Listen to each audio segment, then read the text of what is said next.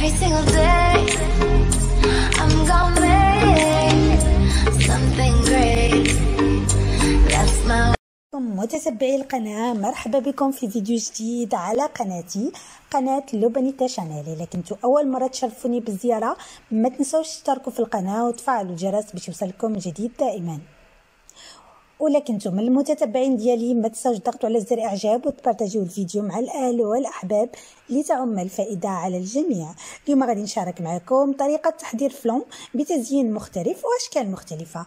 تابعوا الفيديو إلى النهاية لو بغيتوا تشوفوا الطريقة كيفاش حضرته لا على بركة الله بالنسبة للمقادير غادي نحتاجو الفلون. بالطبع الفلون كنشروها من المحلات الكبرى اللي كيكون فيها في وسط العلبة هاد الفلون بودرة أي غبرة وتيكون فيها هاد الكراميل هذا. الكراميل كنستعملوه للتزيين. يعني إذا ما توفرش عندكم ممكن تجهزوه في المنزل بالنسبة للكراميل أو لا تزينوا باي أي حاجة بغيتو. ولكن أنا كنفضل نزين بالكراميل. غادي نحتاجو أيضا واحد أربع كؤوس تاع الحليب. وغادي نحتاجو أيضا بالطبع كسرونه اي أي إناء اللي غادي نقدروا نوضعوه على النار. وكما قلت لكم هنا عندنا داك الفلون بودره أو الكراميل دابا غادي ندوزو لطريقة التحضير. غادي ناخذ ديك الكسرونه وغادي نوضعو فيها داك الفلون بودره غبرة. وكنضيفو عليه أربع كؤوس ديال الحليب.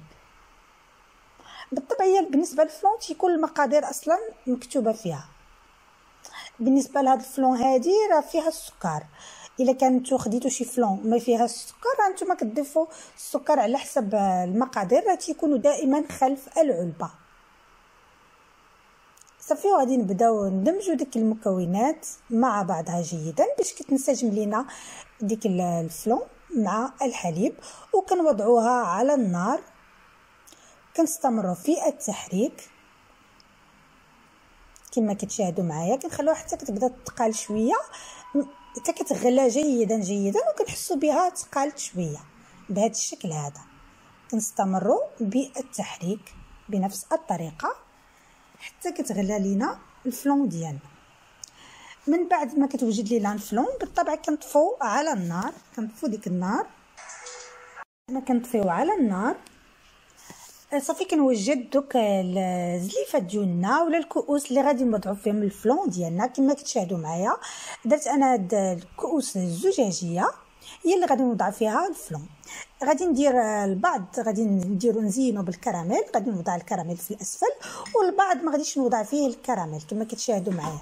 هنا هادو وضعت فيهم الكراميل والبعض منهم ما غاديش نوضع فيهم الكراميل لأن كما قلت لكم كاين بعض الناس اللي كيبغيو الكراميل وكاين اللي ما كيبغوش الكراميل أصلا. فداك الشيء علاش غادي ندير واحد الكمية بالكراميل والكمية الأخرى بدون كراميل. كذلك إلا كن وبالنسبة للكراميل أنا خديته جاهز كان في وسط العلبة تاع الفلون. إلا خديتو شي فلون اللي ما فيهش الكراميل راه من السهل تحضروه في المنزل.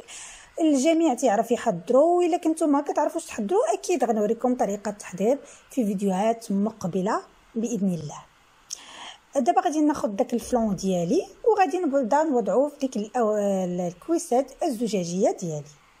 بهذا الشكل هذا حتى غادي نعمر ديك الكؤوس كاملة. بغيت نقول لكم إلا كنتو باقي ما اشتركتوش في القناة ما تنساوش تنزلوا تشتركوا في القناة وتضغطوا على زر الاعجاب لأن هذا العمل بسيط. الا درتوه كيعني ليا الكثير وتيعاونني باش نقدم لكم الجديد دائما.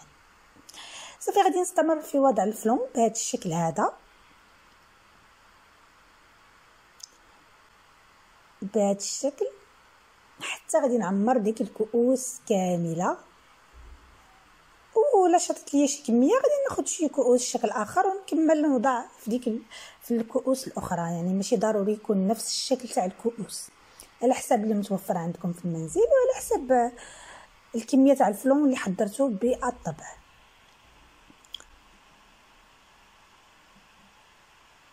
كما كتشاهدوا أنا بقات لي واحد الكمية وضعتها في هذا الكؤوس شكل آخر بهذا الشكل هذا. غادي تشوفوا ملي غادي تبرد هاد الفلون هادي كيفاش غادي يكون الشكل ديالها تكون رائعة جدا. خصوصا اللي جهزناها بالكراميل غادي تكون مميزة جدا وجديدة فكرة جديدة. كنتمنى منكم تجربوها لأنها غادي تعجبكم. ما تقطعوش الفيديو كملوا الفيديو إلى النهاية لأنها فكرة زوينة وأنا متأكدة غادي ينال إعجابكم الفيديو. غادي تطبقوا هذه الطريقة اللي غادي نوريكم في الفلون إن شاء الله. إن شاء الله. صافي من بعد ما ما عمرت دوك الكؤوس ديالي كاملة غادي نوضعهم في الثلاجه غادي نوضعهم في الثلاجه حتى غادي يبردوا من بعد ما كيبردوا جيدا كما كتشوفوا بردوا جيدا. غادي ناخذ واحد غادي ناخذ سكين وغادي نبدأ ندوز الجوانب بهذا الشكل. إلا ما بغيتوش توضعوا السكين غادي توضعوا مباشرة الطبق فوق داك الكأس الزجاجي وتقلبوا أنا كنفضل ندير هذه الطريقة باش نتأكد أن داك ال flan ديالي غادي يهبطوا جيدا. كندوز السكين من الجوانب باش كنتأكد من هذا الشيء. صافي من بعد ما قلبت ديك وضعت داك الطبق في وضعت فيه الفلون. من بعد ما وضعت الفلون في الطبق بهذا الشكل هذا صافي قلبتها. هذا هو الشكل ديالها. هادو اللي جهزتهم بالكراميل. كما كتشوفوا كيعطيو واحد الشكل زوين. وباقي غادي نزيدو نزينوهم مع بعضنا إن شاء الله. كما كتشاهدوا معايا. هذا الشكل اللي وضعته بالكراميل وهذا هو الشكل العادي. كما قلت لكم علاش درنا أنا كنفضل كلشي بالكراميل ولكن كاين بعض الناس اللي ما تيبغوش ياكلوا الكراميل. داكشي علاش درنا لهم الفلون العادي. صافي وزينتو بالتوت الأزرق. كيبقى طريقة التزيين باش ما بغيتو تزينوه أنا هنا زينتو زينتو بالتوت الأزرق. كما كتشاهدوا معايا. هذه الأطباق ديالي. هذا الفلون بدون كراميل والفلون بالكراميل كما كتشاهدوا معايا. كيجي رائع ولذيذ.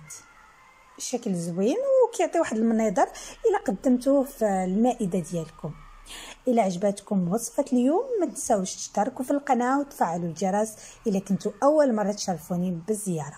ولا كنتوا من المتتبعين ديالي ما تنساوش تضغطوا على زر إعجاب وتبارطاجيو الفيديو مع الاهل والأحباب اللي تعم الفائدة على الجميع. وما تنساوش تخلوا لي تعليقاتكم ملاحظاتكم أسفل الفيديو لأن تعليقاتكم ملاحظاتكم كتهمني وكتعطيني واحد الروح معنوية باش نستمر في تقديم الجديد ونقدم لكم أطباق جديدة ومختلفة ومتميزة وأكيد إلى إلى نزلتوا لباقي الفيديوهات ديال القناة ديالي غادي تلقاو أطباق أجنبية ومغربية وغادي تلقاو أعمال يدوية.